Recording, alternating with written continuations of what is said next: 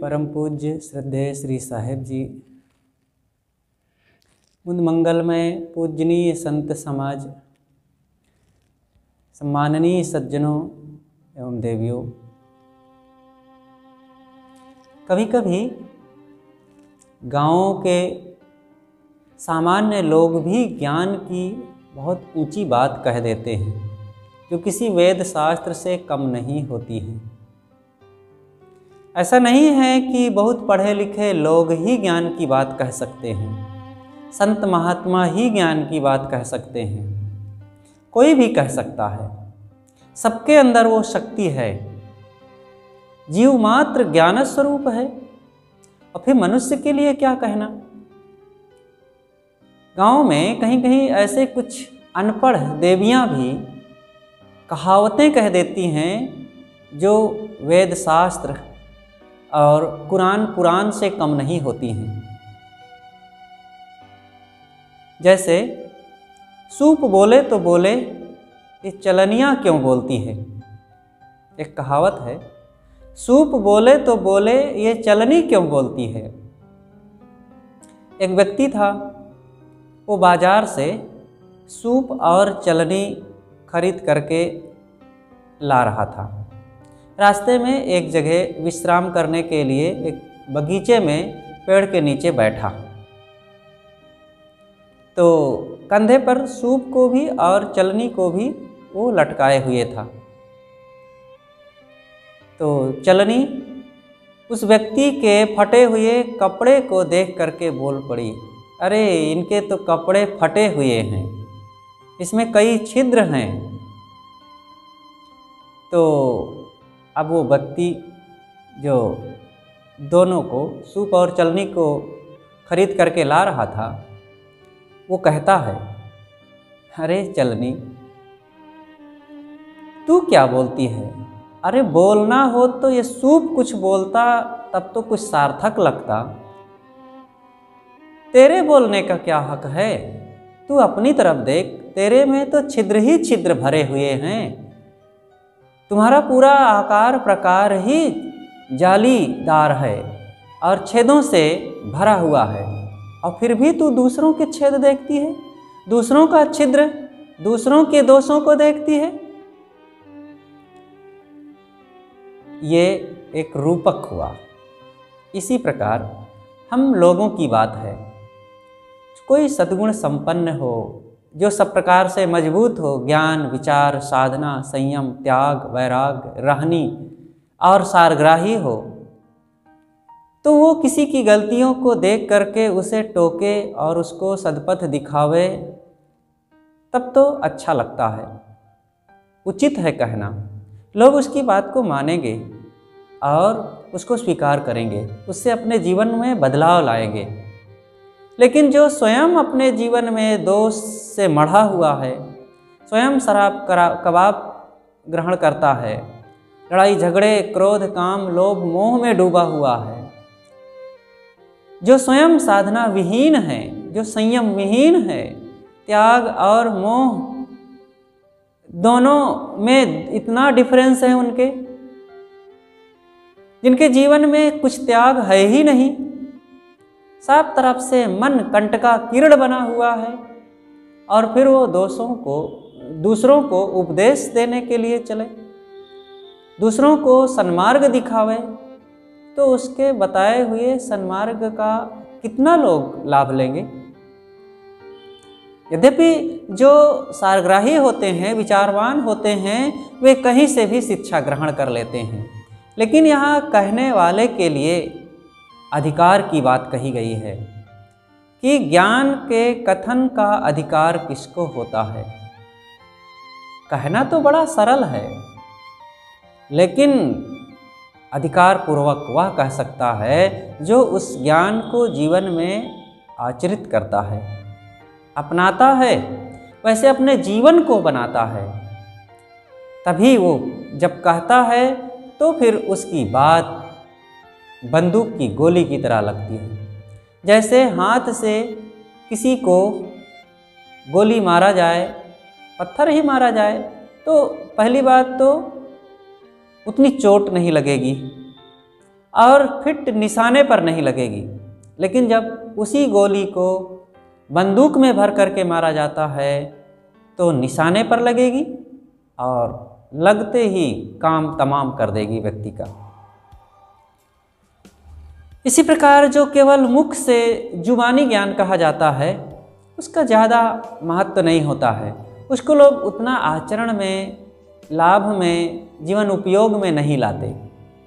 लेकिन जब उसी को अपने जीवन में हृदय और मन इंद्रियों में उतार लिया जाता है, वैसे अपने जीवन को बना लिया जाता है। संयम साधना की कसौटी से कसा हुआ जो जीवन होता है फिर वह जब ज्ञान की बात कहता है तो थोड़ी बात भी उसकी सब तरफ़ लोग सुनने को आतुर रहते हैं।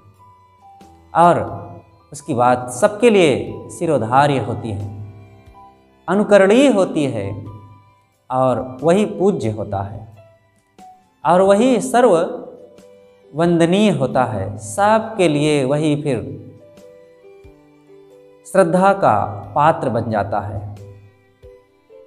तो मैं कह रहा था, इस कहावत पर कि सूप बोले तो बोले, चलनी क्यों बोले? मतलब दूसरों को दोष बताने के काम अगर सूप करता है, साधक जन करते हैं तो उनका चलता है। यद्यपि दोष बताना कोई बड़ी चीज़ नहीं है, कोई अच्छी चीज़ नहीं है। ज्ञान बताना, दूसरों को सदबद पर लाना, ये ऊँची चीज़ है। लेकिन फिर भी वह बोलता है वह दूसरों को सीख देता है, जिसके खुद के जीवन में ही छिद्र ही छिद्र, दोष ही दोष भरे हुए हैं। उस ज्ञान से कितने लोगों को लाभ होगा? इसी प्रकार एक दूसरी कहावत है कि निमसे पड़वा छत्तीस रोग। कमज़ोर मड़वा को बहुत रोग, अनेकों रोग लगते ही रहते हैं। यहाँ पर पड़वा कहा गया। देहाती लोग गाँव में रहते हैं जो भैंस गाय पालते हैं। और अक्सर गाय का बछड़ा जब पैदा होता है तो वो सशक्त होता है और पैदा होने के थोड़ी देर बाद ही वो कूदने दौड़ने लगता है। लेकिन भैंस का बच्चा वो तो जन्म के काफ़ी दिनों बाद तक सुस्त और कमज़ोर लथपथ और कहीं बैठा है तो बैठा है, खड़ा है तो ऊँघते खड़ा रहता है। उसको रोग भी जल्दी लग जाता है। इसलिए उसी के लिए ये कहावत कही गई है कि निमसे निमसे मतलब कमज़ोर। कमज़ोर पड़वा को अनेकों रोग लगते ही रहते हैं। तो यहाँ पर कमज़ोर मन वाला, कमज़ोर आचरण वाला, कमज़ोर सिद्धांत वाला, कमज़ोर धन वाला और कमज़ोर विचार वाले लोगों को अनेक रोग लगते ही रहते हैं। मतलब उनको ऐसा लगता है कि हम, हमें ही लोग परेशान कर रहे हैं। जिसके पास शरीर कमज़ोर है तो थोड़े थोड़े में कहीं सर्दी लग गई, कहीं जुकाम हो गई, कहीं बुखार हो गया, कहीं सर दर्द शुरू हो जाता है, कहीं पेट दर्द शुरू हो जाता है तो कहीं कमर दर्द शुरू हो जाता है। अनेक रोग उसको आते ही रहते हैं। तो ऐसा लगता है कि लोगों से, प्रकृति से, मौसम से ये सब जो मिल रहा है मेरे लिए ही सब जानबूझ करके ऐसा किया जा रहा है क्या? कोई जानबूझ करके नहीं करता। अपने शरीर में ही जब रोग प्रतिरोधक क्षमता नहीं रहती है तो थोड़ी थोड़ी हवाएँ थोड़ी थोड़ी जो मौसम की विपरीतताएँ हैं, वही हमारे लिए रोग का कारण बन जाती हैं। उसी वातावरण में, उसी समय में दूसरे लोग रहते हैं, जो मज़बूत शरीर वाले हैं, उनको कुछ नहीं होता है। लेकिन जो कमज़ोर शरीर वाले हैं, उनको जल्दी से रोग लग जाता है। इसी प्रकार धन जिसके कम है तो उसको लगता है कि दूसरे लोग मुझे चिढ़ा रहे हैं। उन दूसरों का दिखता हुआ ज़्यादा धन, कमज़ोर जो विचार वाले हैं उनको लगता है कि ये मुझे अपने धन का प्रदर्शन कर रहे हैं, मुझे दिखा रहे हैं, मुझे चिढ़ा रहे हैं और आए दिन उसको कमज़ोरी महसूस होती ही रहती है। इसलिए धन की कोई सीमा नहीं है। एक से दूसरे का कम होता ही है, एक से दूसरे का ज़्यादा हो ही सकता है, होता ही है। तो इन बातों के लिए क्या मन में अपने कमज़ोरी रखना? ये सब कमज़ोर मन के लक्षण हैं। धन कमाना चाहिए, मेहनत करना चाहिए और फिर जितना मेहनत से हो जाए, उसमें संतोष करना चाहिए, गुजर बसर करना चाहिए। धन ज़्यादा है तो क्या कोई ज़्यादा खाता है? और कम है तो क्या खाने के लिए कम हो जाता है? वो भूखे पेट रह जाता है? ऐसा कुछ नहीं है। उतना तो सबके पास हो ही जाता है किसी ना किसी ढंग से कि पेट भर जाए। और आज के ज़माने में जो कोई मेहनत करेगा, उसके लिए गुजर बसर की कोई चिंता की बात नहीं है। बस मेहनती होना चाहिए, परिश्रमी बने। आलसी निकम्मा के लिए तो सदैव कमी ही बनी रहती है। कमज़ोर मन वाले के लिए समस्या ही समस्या है। थोड़ी सी बात नहीं सह सका, थोड़ी सी किसी कोई प्रतिकूलता ना सह सका, भूख प्यास ना सह सका, थोड़ी सी ठंडी गर्मी में हाय तोबा करने लग गया। थोड़ी सी कोई ऊंच नीच परिस्थिति आ गई, उसी में मन उसका सिकुड़ने लगा। तो ऐसा व्यक्ति भी प्रसन्न और सुखी नहीं हो सकता है। मज़बूत मन वाले बनना चाहिए। ये संसार है। इस संसार में अनेक प्रकार के सुख दुख आएँगे। कोई इससे बच नहीं सकता है। चाहे गरीब हो, चाहे धनी हो, चाहे शिक्षित या अशिक्षित, नर हो या नारी, कोई भी हो सबका के ऊपर ये संसार का प्रभाव आएगा। और जो इन प्रभावों से अपने आप को अप्रभावित नहीं रखेगा, मज़बूत नहीं रखेगा, फिर वो साधना में आगे कैसे बढ़ सकता है? जो बाहर के इन छोटे छोटे प्रभावों से प्रभावित होता रहेगा, फिर वही काम क्रोध लोभ, मोह से भी प्रभावित होता रहेगा। और प्रभावित हो हो करके वो विचलित होता रहेगा, दुखी होता रहेगा। इसलिए धैर्यवान बनना चाहिए, सहनशील बनना चाहिए। कोई भी परिस्थिति आवे, उसमें दृढ़ता और अडिगता बना करके उसमें हमें सफल होने का पुरुषार्थ करना चाहिए। बिना मजबूती लाए किसी भी दिशा में व्यक्ति सफल नहीं हो सकता है। संसार के अनेक कठिनाइयों को तो लोग सह भी लेते हैं, लेकिन मन की कठिनाइयों को जो नहीं सहता है, वह तो कभी भी शांति संतोष का अनुभव तो कर ही नहीं सकता है। मजबूती की बड़ी ज़रूरत है। मज़बूत घर हो, मज़बूत गाड़ी हो, मज़बूत कपड़े हो, लेकिन इन सबसे ज़्यादा ज़रूरी है कि मज़बूत मन हो हमारा, मज़बूत विचार हो हमारा, मज़बूत संकल्प हो हमारा, मज़बूत संयम हो हमारा। बिना इस मजबूती के हम कभी भी सच्चरित्रता और शांति साधना के पथ पर तो बढ़ ही नहीं सकते हैं। ये मन इंद्रियों के झकोरे और इसमें आए हुए उद्वेग कमज़ोर स्थिति में हमको डिगा देंगे और कब हमें विपथ में ले जा कर के गिरा देंगे कह नहीं सकते। इसलिए इन मन इंद्रियों से विजय पाना कोई सरल नहीं है। इन पर विजय प्राप्त करने वाला वही हो सकता है जो मज़बूत मन का होगा, संयमी होगा, जो साधक होगा, जो आत्मावलोकन करता होगा। और जो सुख दुख को सहने की हिम्मत रखता होगा। महापुरुषों को देखिए, इन महापुरुषों ने जो आज सबके श्रद्धेय हैं और अपने जीवन को सफल बनाए, कल्याण, शांति, साधना के क्षेत्र में आगे बढ़ कर के अपने जीवन को धन्य बनाए, यूँ ही नहीं उनका जीवन महान हो गया।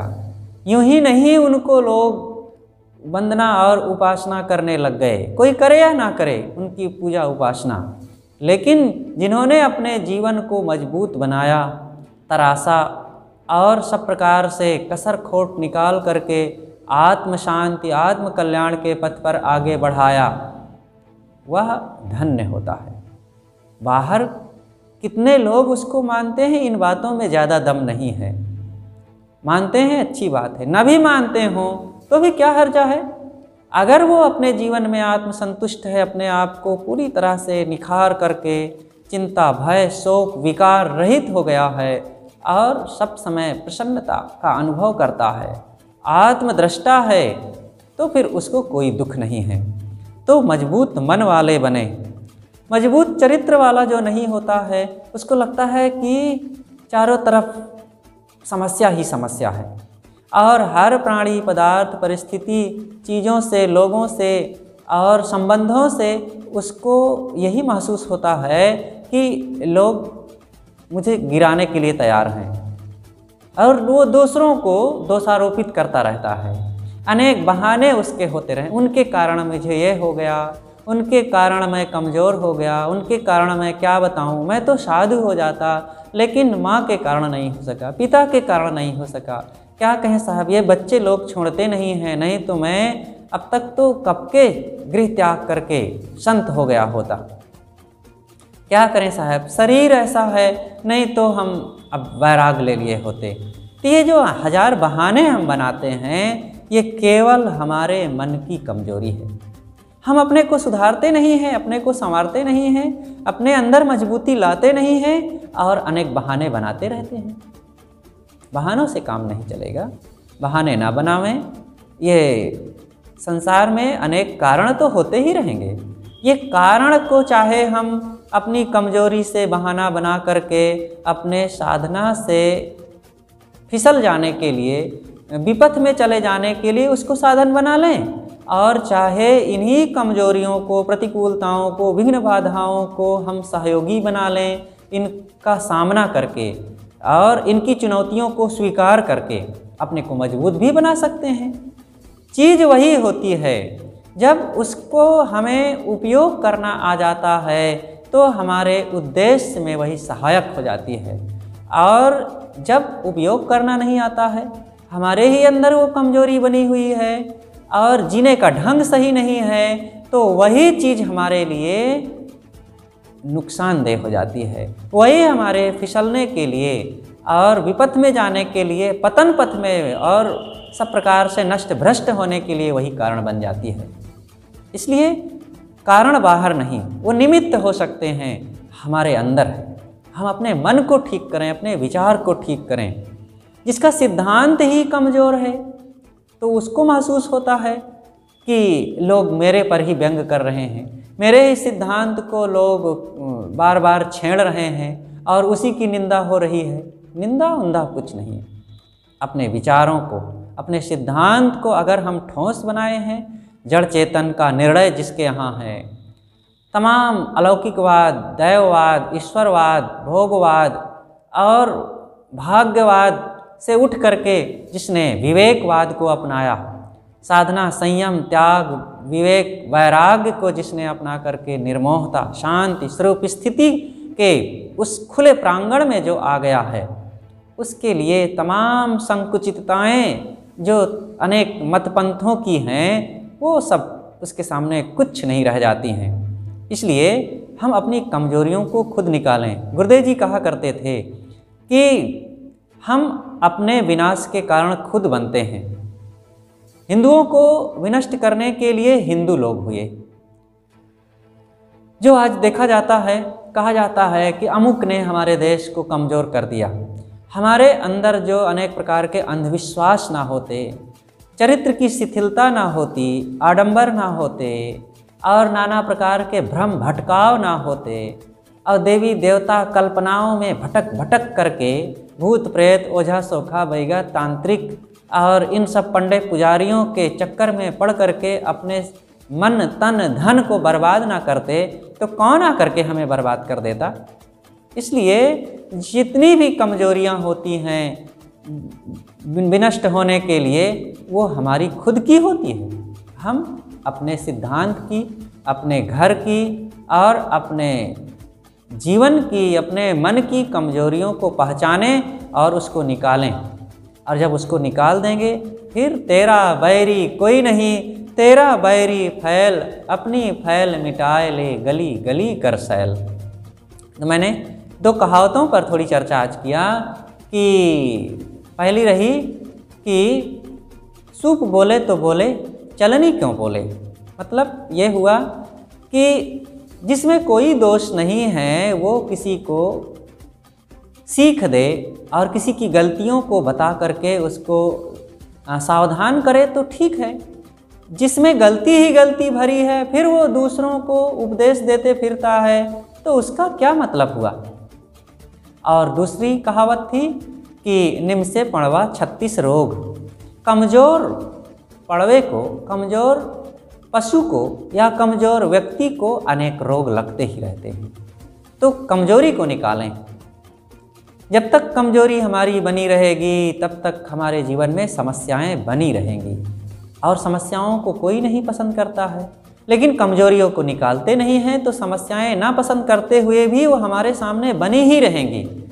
इसलिए हम अपने अंदर, अपने जीवन को, स्वभाव को, मन को, चरित्र को, आचरण को और शरीर को जब तक मज़बूत नहीं करेंगे, तब तक हम केवल कल्पना करते रहेंगे कि हम सुखी बने और कल्पना के लड्डू से कभी पेट नहीं भरता है।